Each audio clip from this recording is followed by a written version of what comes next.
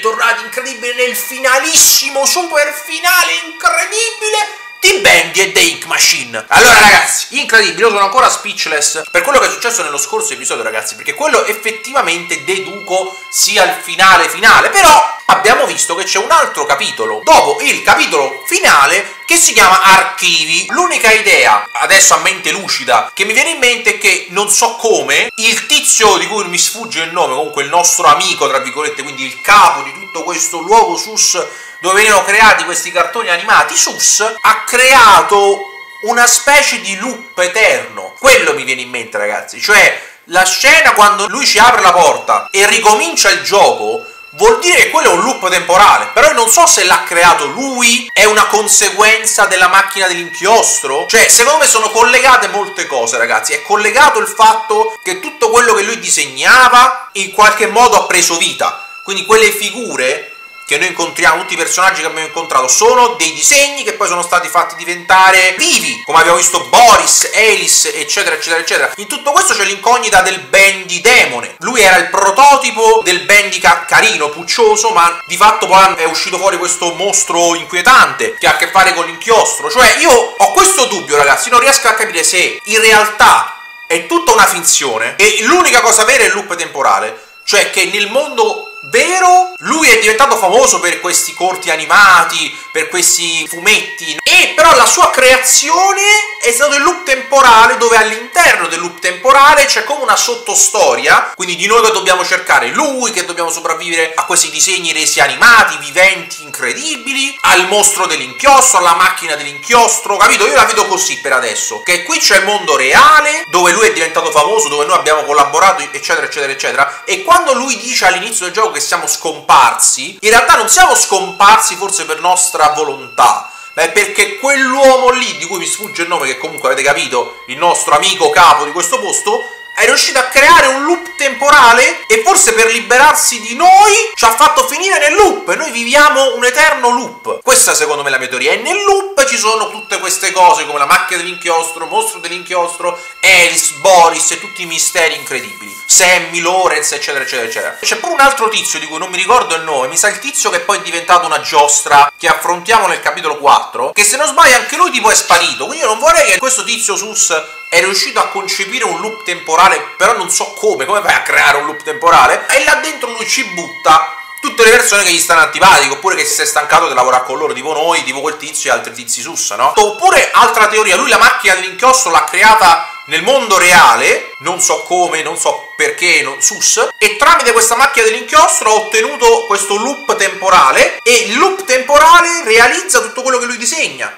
E poi lui ci ha buttato qua dentro così che lui potesse avere successo e noi viviamo eternamente in un loop temporale, ragazzi. Può essere pure quello, ragazzi. Detto questo, ragazzi, andiamo a vedere questo stranissimo capitolo extra. No! È un museo con descrizioni uniche. Ma dai, ma quanto amore. Queste sono le cose, ragazzi, che mi fanno impazzire a me. Ma guarda, vabbè, non ho parole, complimenti. Benvenuti agli archivi, spero sia tradotto bene. Band Nick Machine è iniziato quando lo sviluppatore fumettista noto come, ragazzi, perdonate la mia pronuncia sus, Temitli, credo, non lo so, ha fatto l'esperimento di portare un disegno 2D in un modo 3D. Questa è la storia del gioco, di come è nato il gioco, non la storia del gioco in sé dentro. Ok, ragazzi, ci siamo capiti?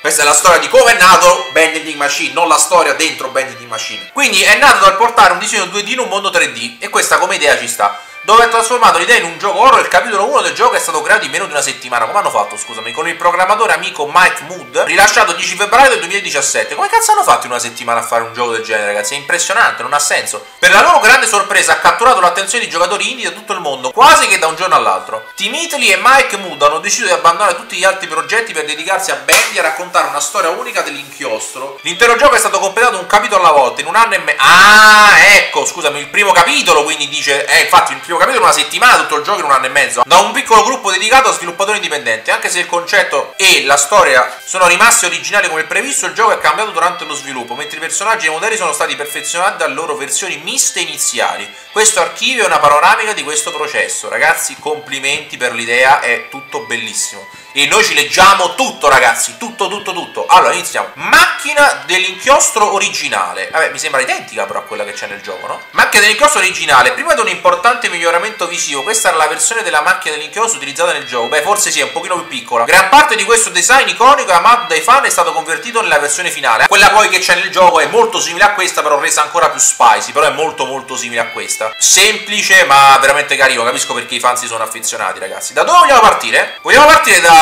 Boris o da Bandy? Vabbè, iniziamo da Bandy, dai. Wow! Ma quanto è creepy! Che si apre e c'ha la bocca così, coi dentoni fatti così, vabbè ma è fighissimo, perché non l'hanno usato sto design? Quell'immagine di Bendy non mi piace perché non rende Bendy, è più un tizio che vuole fare il cosplay di Bendy ma senza riuscirci bene. Concetto di Bendy. Questa è la prima versione modellata di Bendy, nelle prime arti concettuali Bendy era molto più piccolo e carino, con una faccia che si apriva per rivelare una bocca spaventosa, è fighissimo, io non so se questa cosa tornerà più avanti ma è fottutamente fighissimo perché non te lo aspetti, è tutto carino e poi apre la bocca così in maniera assurda e creepy, bellissimo, design design assurdo. Ammazza, ma quanti bandy hanno fatto? Scusami. Quello è il bandy poi finale, no? Il bandy mostruoso. Quello è molto figo. Bandy Alpha. Questo è il design originale utilizzato nel gioco di Bandy Ink Machine. Dalle prime versioni del capitolo 1. Viene affettuosamente soprannominato dal team di sviluppo come cacca di uccello con un sorriso. Allora, effettivamente è la descrizione più accurata che potessi dare. Effettivamente sembra una popò di un piccione. Eh sì, è vero. Eh, complimenti per la descrizione. Questo riquadro è molto figo di Bandy Super Strong. Bandy Beta. Questa è una forma di Bandy fino fino all'uscita del quarto capitolo. A quel tempo il gioco ha ricevuto un notevole miglioramento visivo. Hanno fatto una remaster quando sono arrivati al quarto prima del quinto, figo. E quindi il gioco ha ricevuto un notevole miglioramento visivo e il personaggio principale ha ricevuto anche un nuovo modello. E beh, e hanno fatto le cornetta più sus, il colore è un inchiostro più sus, hanno messo il fiocchettino bianco. Guarda che bella quella fanart con le manine. Quella tra l'altro è la mano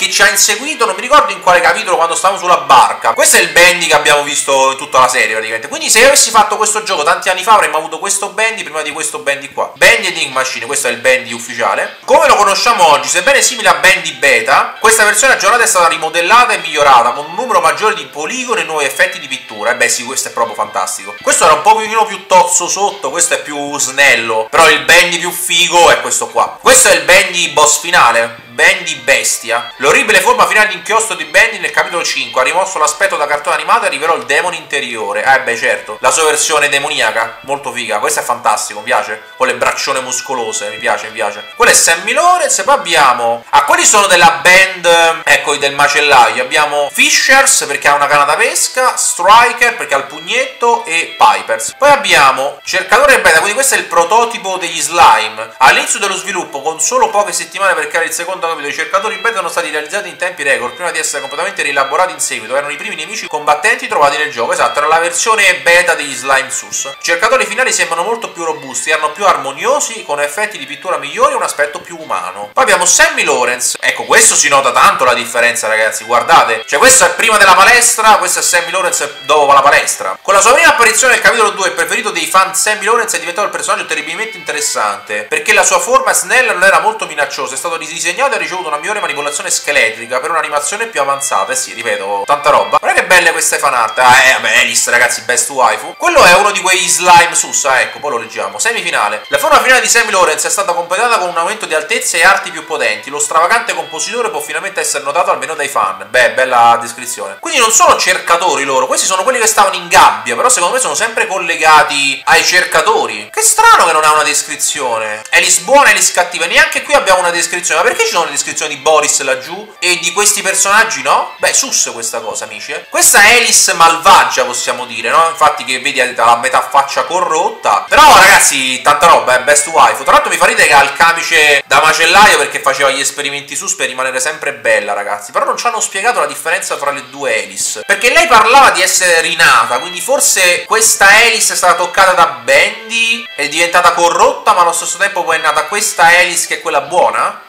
Tra l'altro lei è armata di spada. Poi abbiamo quell'affare lassù che non capisco che cos'è. Sembra una casetta distrutta dell'inchiostro. Quello è il nucleo dove poi andiamo nella macchina dell'inchiostro, dove poi incontriamo il boss finale. Quello è il trono di Bendy e quello è Boris eh, versione Broly dopo gli esperimenti di Alice. Pure questo è il Boris che incontriamo nel finale, quindi il Boris buono, tra virgolette. E qui abbiamo dei cartelli sus, poi leggiamo pure questi, ragazzi. Questo che cos'è? Boris Beta? Papà era il nome originale del personaggio che alla fine divenne Boris il lupo. Questa versione iniziale è stata rilasciata nel capitolo 1 e è stata presto trasformata nel Boris che conosciamo oggi, con l'avvio del capitolo 2. Boris il lupo, un amico fino alla fine, è stato realizzato utilizzando vari riferimenti del cartone animati degli anni 1920. E beh, ricorda molto Pippo, ma come Bendy ricorda un po' Topolino, quindi ci sta. Essendo una miscela di animazioni della costa occidentale e della costa orientale, questo lupo silenzioso e utile ha conquistato il cuore di molti, e beh, è vero. Anche se a volte è stato un mal di testa per il team di sviluppo a causa della sua IA che ha una vita propria durante la produzione. Ah, carino perché si buggava evidentemente. Boris Selvatico, va bene. Una mostruosità di Alice Angel. Boris Selvatico è stata una delle più grandi sorprese del quarto capitolo. Il suo design era basato approssimativamente sul mostro di Frankenstein, beh, si vede tantissimo, ma con un aspetto non finito. Alice prese parti da dentro e le sostituì con cose che il suo corpo stava rapidamente rifiutando. Quello che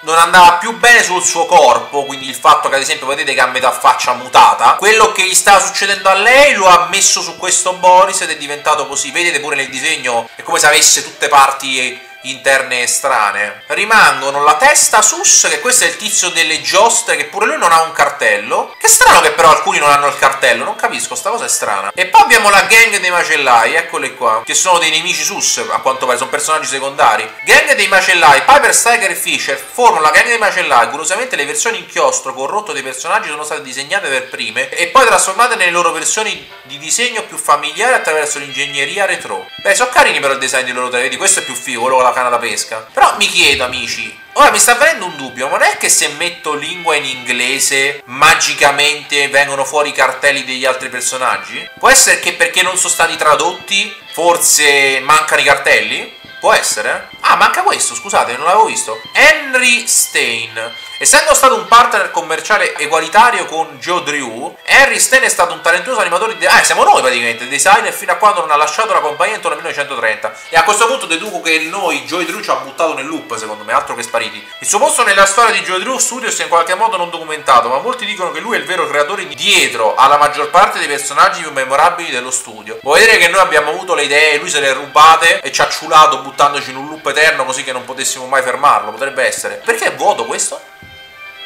Standing proud, ho preso un achievement. Il motivo per il quale mi ha dato un achievement ed il motivo per il quale qui non c'è niente perché essendo la descrizione nostra, noi ci mettiamo in posa come loro e mi hanno dato l'achievement per averlo fatto. Carino. All'unico dubbio che io ho è se mancano dei cartelli perché è voluta come cosa, però qui c'è lo spazio, oppure perché non sono stati mai tradotti e quindi se metto in inglese magicamente i cartelli ci sono. Proviamo ragazzi, metto lingua inglese e ci rivediamo qua.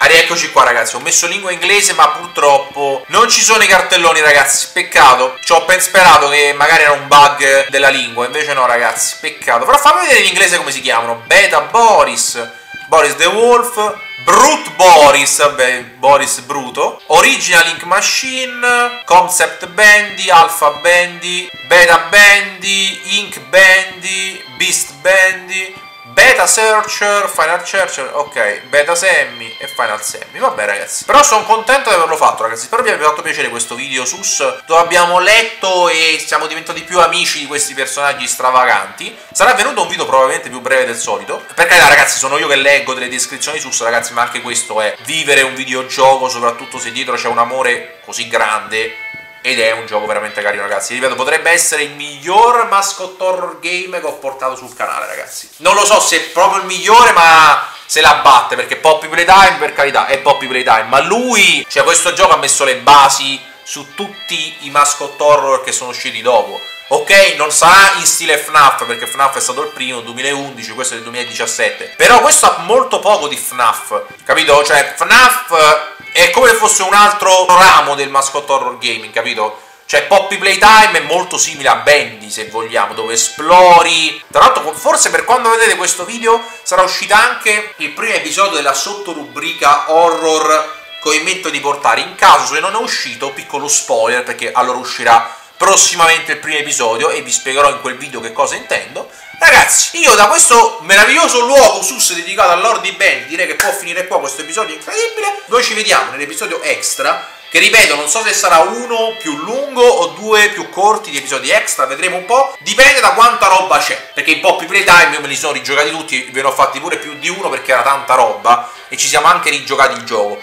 Ragazzi, che bello siamo voi e ci vediamo al prossimo episodio di Bandit Ink Machine. Incredibile! Uh!